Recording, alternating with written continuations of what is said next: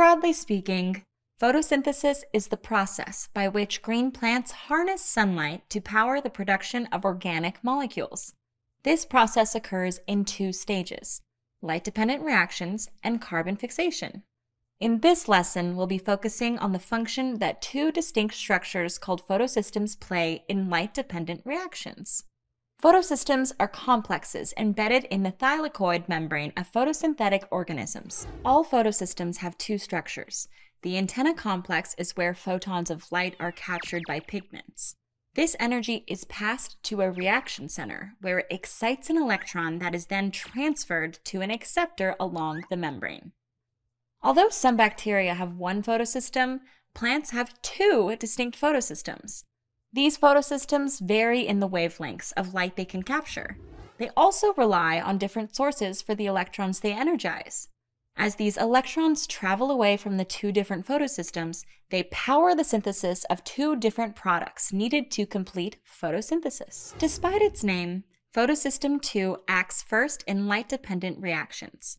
It captures shorter wavelengths of light than photosystem 1, which carry more energy.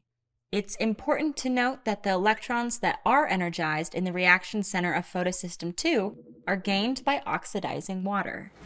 These energized electrons are passed along the thylakoid membrane to the proton pump B6F complex. Here, energy from these electrons is used to pump protons across the thylakoid membrane. This concentration gradient ultimately powers the production of ATP through a process called chemiosmosis. Meanwhile, the electrons that provided energy to B6F complex are passed along to photosystem 1. Photosystem 1 captures longer wavelengths of light than photosystem 2, while photosystem 2 plucks electrons from H2O molecules Photosystem 1 can only receive electrons that have been passed along from photosystem 2. The electrons that are re-excited at photosystem 1 are passed to another carrier which uses them to reduce the acceptor NADP plus to NADPH. This marks the end of the light-dependent reactions. Both ATP and NADPH go on to play crucial roles in carbon fixation.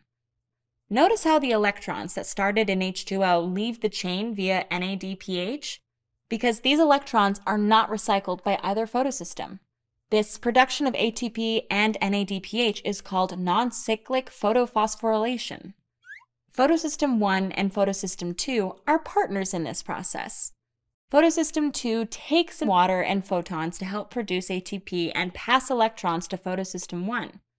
Photosystem 1 takes these electrons and more photons to help produce NADPH.